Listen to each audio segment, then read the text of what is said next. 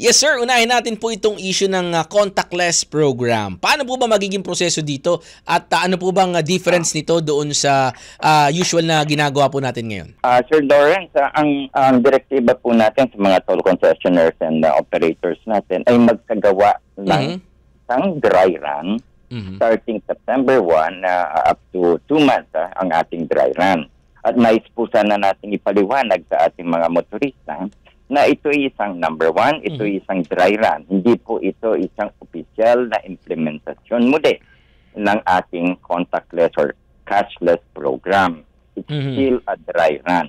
Pangalawa, hindi po lahat ng toll plaza sa September 1 ay mag-electronic uh, toll collection na mm-hmm. through RFID.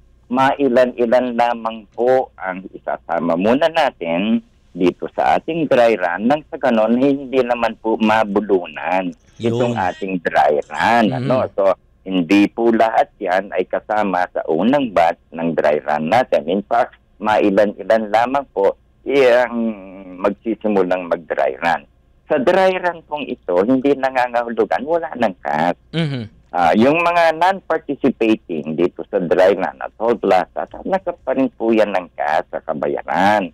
At uh, yung nagpa-participate naman na toll plaza, nakasali na dito sa dry run, kung maaari po nakikiusap kaming mabuti mm-hmm. dito sa motorista na magpa-sticker na ng RFID, mag-switch na to RFID from CAT. Mm-hmm. Uh, hindi naman po sila pipigilin na pumasok dito sa mga toll plaza na sa dry run status natin. Mm-hmm. Subalit uh, para naman po maging successful yung ating assessment and review ng ating toll plaza, nakikiusap naman po kami na kung pwede uh, magpa RFID Yan. sticker na kayo pagpasok nyo sa mga participating uh, toll plaza sa Sir, dry run. Sir Julius, ano po bang end goal natin dito? Uh, kasi syempre, hindi naman natin pwedeng tanggalin totally itong cash lane. Tama po ba? Uh, ganito po, Sir hmm. Lawrence. The ultimate goal is, of course, let's go all the way mm-hmm. na electronic toll collection. Ah. kahit na, opo, yun naman po yung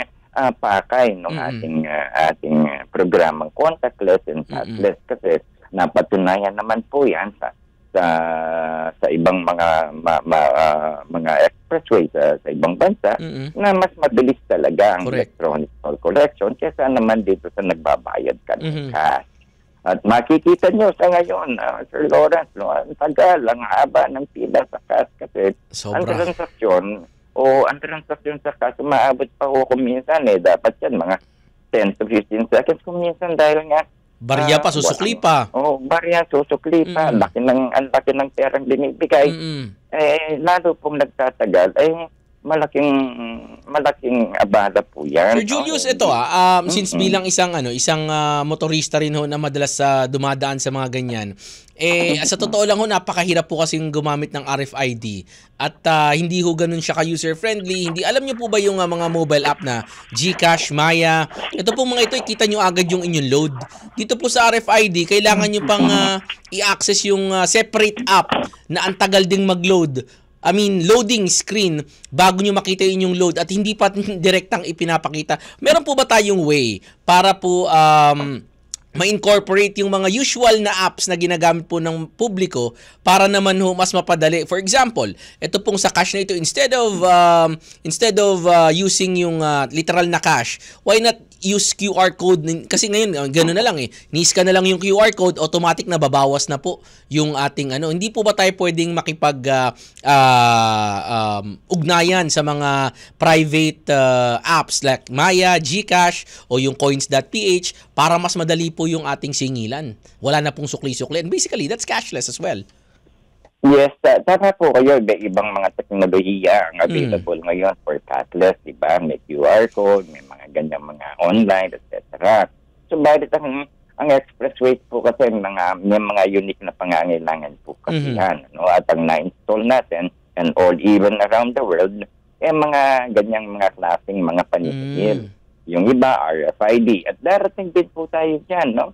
Yung tinatawag na digital highway kung mm. saan eh dire-diretso na kayo at meron na po tayong ganyan ngayon na barrier free mm. yung endless flex connector natin barrier free po yan mm-hmm. no yung bagong bukas natin no we will go we will go that way, digital highway po, Sir Lawrence. Ah. Ngayon, Opo, uh, yan po ang pakay natin para mas mabilis ang ating paglalakbay sa at ang ating transaksyon sa mga Mm. toll plaza.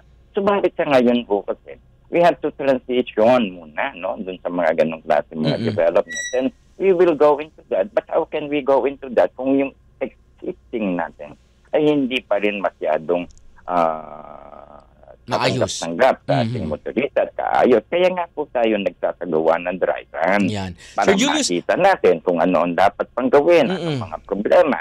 hanggang Ah, kailan po itong ng- dry run natin, sir? Dalawang buwan po yan, Sir Dalawang buwan. At, uh, Sige. oo.